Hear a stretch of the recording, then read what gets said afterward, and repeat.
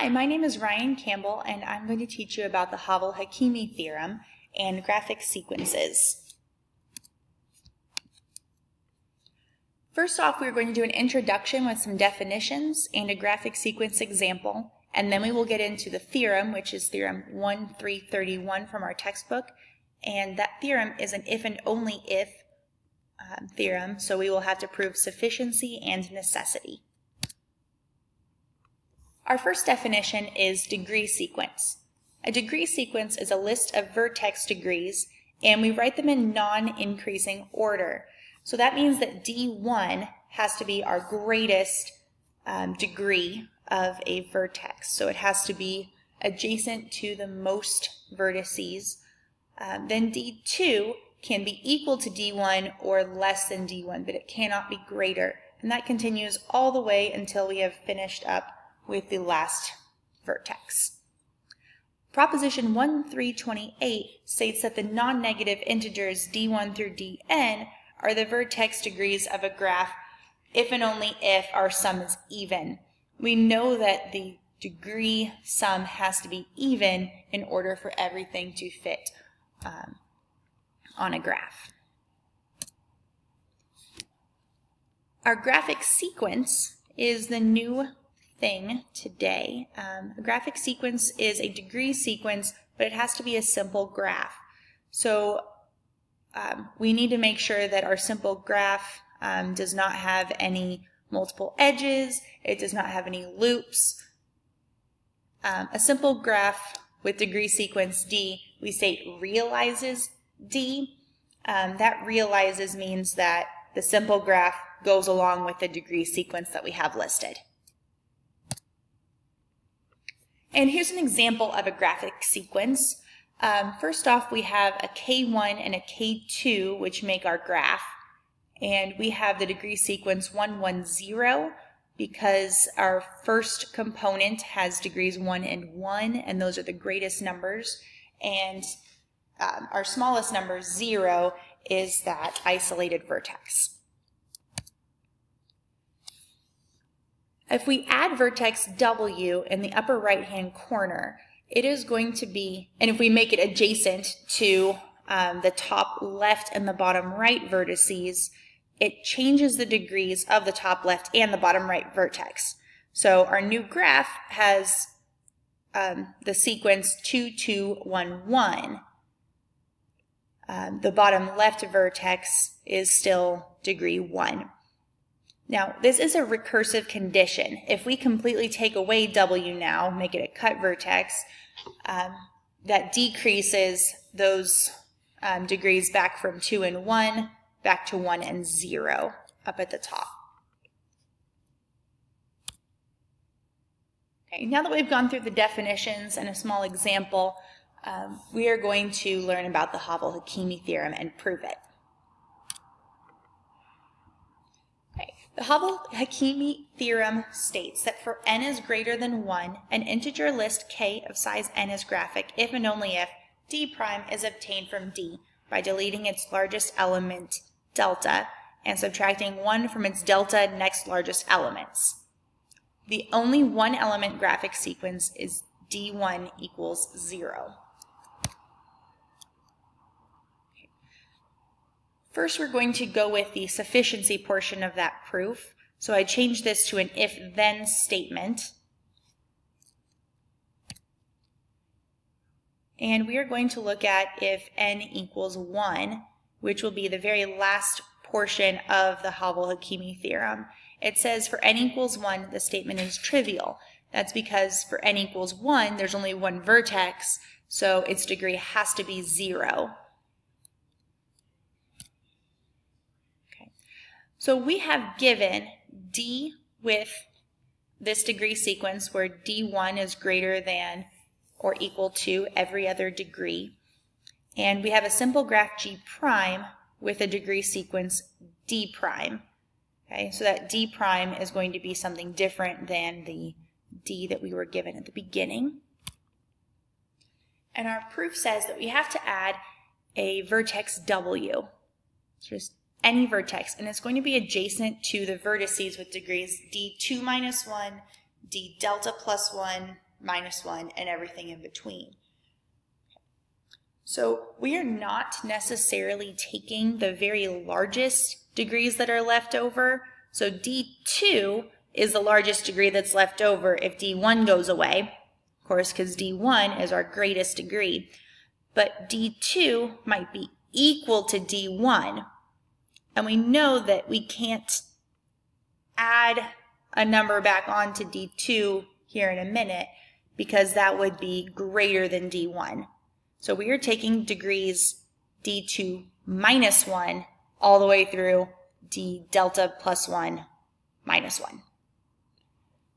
So as we add W in, adjacent to all of those, the degrees will increase to be D2 all the way through D delta plus 1. And here's an example of that sufficiency proof. Let's say we start with D equals the degree sequence 4, 3, 3, 3, 2, 2, 1. That means that D prime is going to be 3, 2, 2, 1, 1, 1. Okay, so we have gotten rid of the 4 that we started with, and since we can say like W is going to be added in, so all of those degrees are smaller than they would have been if it was just D. Okay, so we're starting out with the black portion there, and we are going to be adding in W. Okay.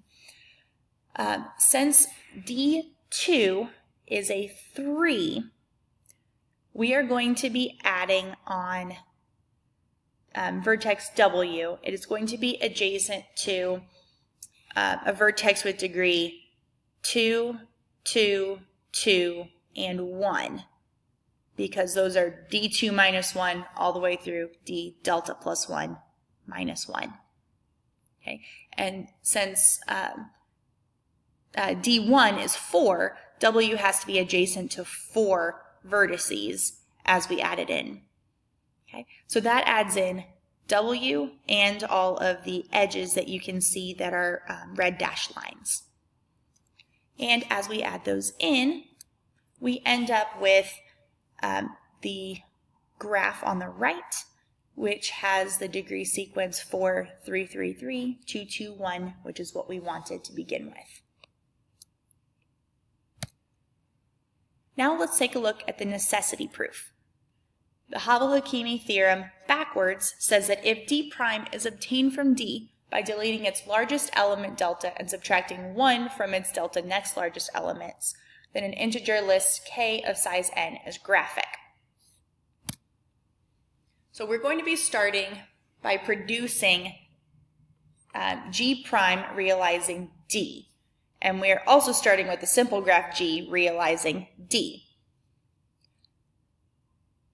We are going to find a w, which is a vertex in g, that has degree of delta. So it would have that very first largest degree in the sequence.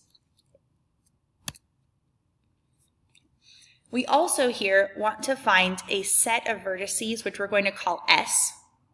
The size of S is going to have to equal delta. And that degree sequence for delta is going to be D2 all the way through D delta plus 1. So there are delta of those vertices, delta degrees in there.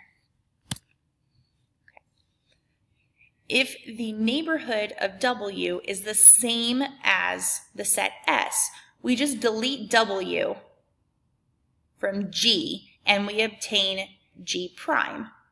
So then our theorem has been proven. Except if the neighborhood of W is not S, we are going to have to change S and change the other things that are left over so that we can make this actually happen the way it's supposed to. So let's take a look at how we can change S and the neighborhood of W. Okay, so here's the case where the neighborhood of W is not equal to S. So we have a vertex V in S that is missing from the neighborhood of W.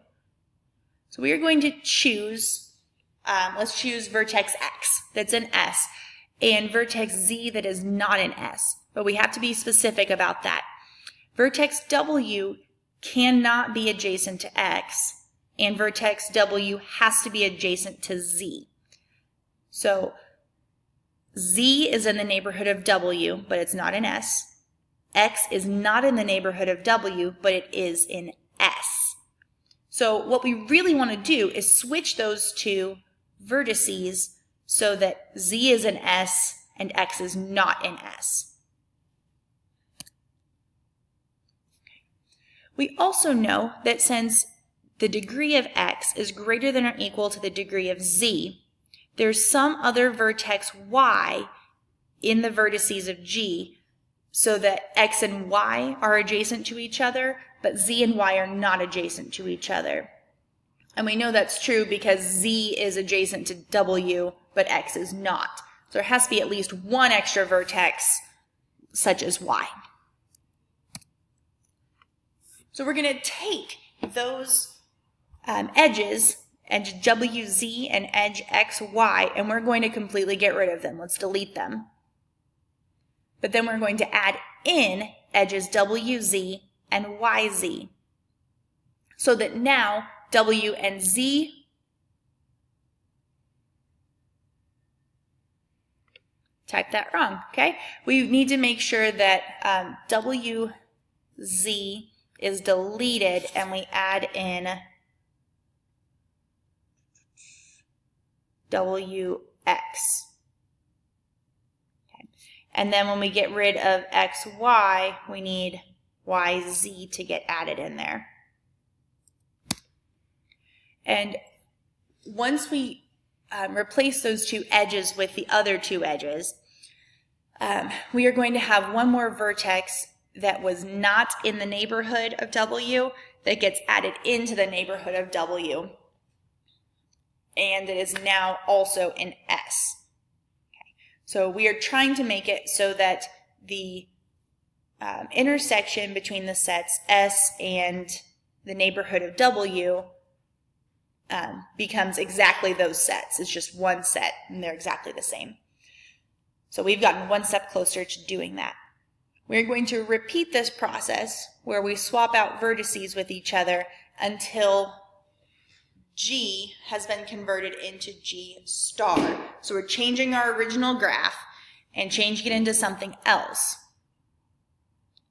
Um, once we do that, we can delete W from that big graph G star and we obtain the desired G prime realizing D because we delete all of the elements of S, which is now exactly the same as the neighborhood of W, and we have realized D prime.